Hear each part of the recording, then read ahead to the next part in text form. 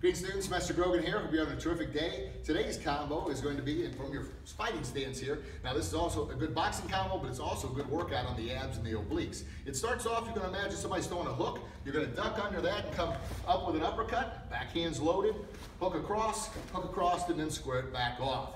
Once again, uppercut, hook, hook, square it back off. Now you can also do this as an uppercut, jab, cross if you'd like. Once again on that one, it's one, two, three. To see that with a partner, Sir. thank you, sir. Thank you, sir. He's here like this. We're going to use this front hand. It's going to come around as this big hook. I'm going to duck out of it. I'm going to throw the uppercut on this technique, on this pad. Go ahead. Out of it.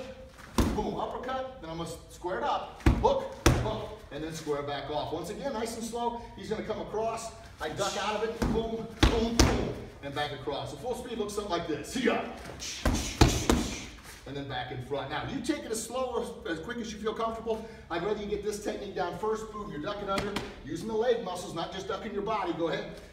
Uppercut comes through, hook, hook, square it back off. One more time, it is. Yeah! And then back in front. Thank you, sir. Thank you, sir. All right, there you go. Keep practicing. We'll see you real soon.